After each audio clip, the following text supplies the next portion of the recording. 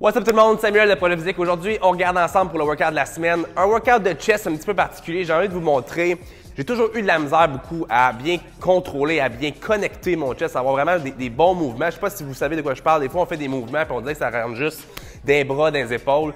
J'ai longtemps travaillé sur comprendre comment mieux connecter mon chest pour être capable de justement mieux sentir mes mouvements. Pas faire des mouvements pour rien puis sentir, comme que je disais, les autres muscles. Donc aujourd'hui, c'est un cool workout. C'est plus une introduction à un workout que j'ai goût de faire avec vous autres parce que bon, vous savez comment faire du bench press ou j'espère, vous savez comment faire des fly. Je veux vous montrer en général trois exercices simples à faire pour vous avant un entraînement de chest pour être de justement bien réchauffer, bien pré-fatiguer, on dit pré-exhaust pour être certain de justement engager vos fibres musculaires comme il faut dans votre workout. Donc on commence en premier lieu avec l'élastique.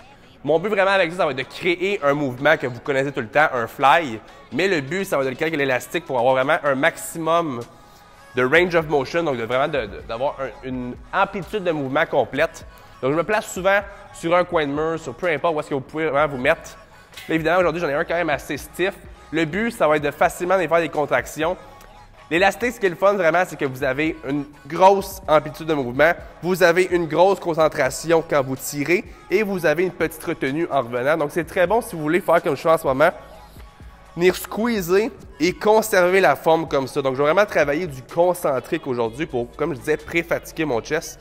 Donc, j'en ai squeezé un 3 secondes environ par répétition. Donc, on vient squeezer. Et vous voyez, tout le temps le chest très haut. Je vois beaucoup de gens, des fois, qui sont penchés par en avant ou qui. Je garde mon chest très haut, je descends mes épaules. Mon but, c'est vraiment, c'est juste du chest. Et si vous pouvez avoir comme moi un mur comme ça pour vous accoter, on vient squeezer et on conserve le mouvement au maximum.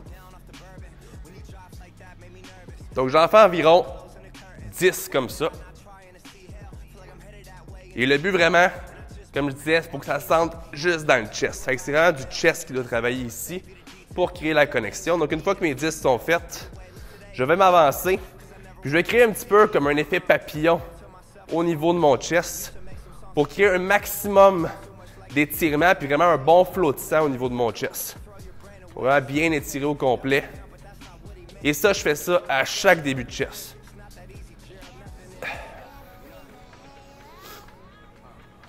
OK, comme ça.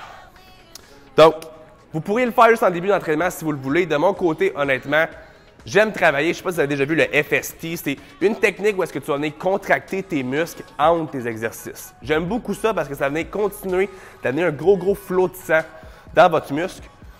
Donc, qu'est-ce que je fais comme euh, exercice comme ça?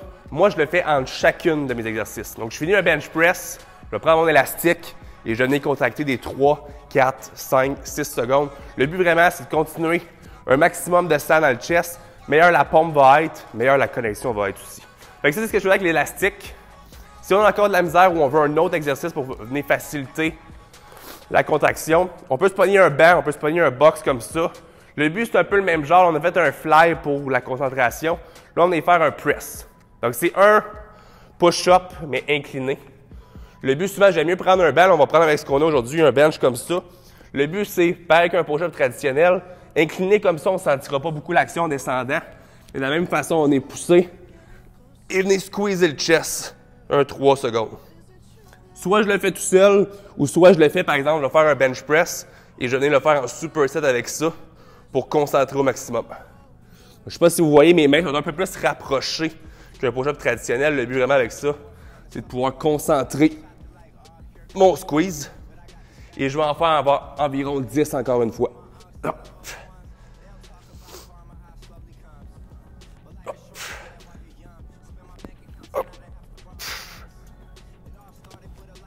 Et voilà. Donc, ça, c'est l'exercice numéro 2. Donc, on a fait ce qui est élastique. Là, on a fait le squeeze avec ça. Donc, on a un fly, on a un press. Le petit dernier que j'aime faire, on garde l'élastique toujours. Honnêtement, j'aime vraiment beaucoup les élastiques. Si vous pouvez vous procurer ça autant à la maison qu'au gym, je trouve que c'est vraiment super utile, autant pour les exercices que pour comme ça, bien réchauffer comme du monde. On va rester dans le fly encore une fois pour l'amplitude de mouvement.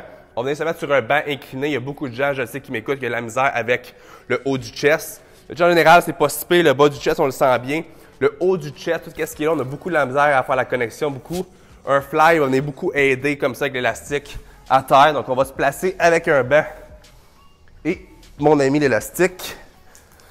Et le but vraiment, on va faire un peu comme entre un press et entre un fly, du fait que ça sert vraiment à rien que j'aille le jeter trop loin non plus. On est vraiment le un petit peu de côté comme ça. Mais le but, le plus important, c'est le squeeze. Donc, on est vraiment là, nez squeezé. Puis comme d'habitude, 1, 2, 3 secondes en concentrique pour être sûr qu'on le sente comme du monde. Comme d'habitude, environ 10 répétitions. Puis on peut faire ça un 2, 3 séries. Mes épaules ont le temps bien reculées dans le banc aussi. Comme tantôt, mon chest très haut. Le but, c'est que je travaille pas mes bras aujourd'hui, je travaille pas mes épaules. C'est normal qu'ils embarquent un peu, mais c'est mon chest qu'on veut, puis c'est pour ça qu'on fait ça en ce moment. On veut vraiment bien sentir le chest. Et voilà. Donc, c'est trois petits exercices que vous pouvez faire, autant pour dans votre workout que si vous voulez faire ça de temps en temps pour mieux améliorer votre connexion, comme que je disais. Chose qui m'a beaucoup aidé à m'améliorer avec les années, autant pour d'autres exercices aussi.